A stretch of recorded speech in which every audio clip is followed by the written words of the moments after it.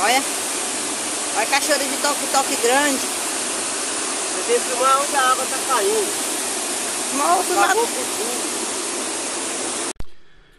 Desde o início do ano eu venho avisando que as tempestades esse ano seriam mais severas, assim como também os terremotos. Mas muitas pessoas, como sempre, não vêm dando ouvidos.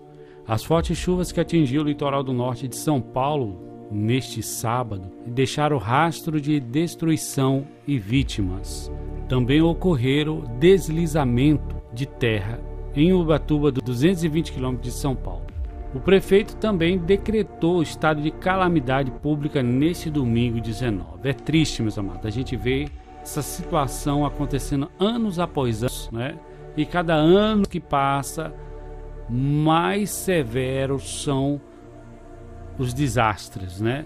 Mais severos são os acontecimentos que ocorrem. Vou deixar vocês com essas imagens, imagens essas que estão circulando na internet. Deixa o like, compartilha, né? Não custa nada você compartilhar, deixar o like. E se você puder me ajudar aqui também, para que eu possa fazer a cirurgia na minha cachorrinha, eu vou agradecer muito a vocês, tá bom? O Pix vai estar aqui, a conta também, caso vocês desejam. Ela precisa fazer uma cirurgia para tirar as pedras na bexiga e fazer um tratamento na coluna também. Vocês já viram até os vídeos dela, né? Quando ela estava bem, correndo para lá e para cá, e hoje ela não está nessas condições. Então, eu gostaria que vocês que puderem, qualquer valor será de grande ajuda, né?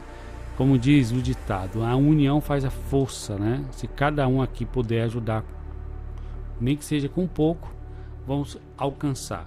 Então, se você puder me ajudar, tá aí o Pix, vai ser de grande ajuda. Deus abençoe a todos e oremos pelas famílias, né, que perderam tudo, perderam seus entes queridos nessa tragédia que vem acontecendo, e não só em São Paulo, mas em vários estados brasileiros devido aí às fortes chuvas. Ficamos por aqui, uma ótima semana a todos e até a próxima.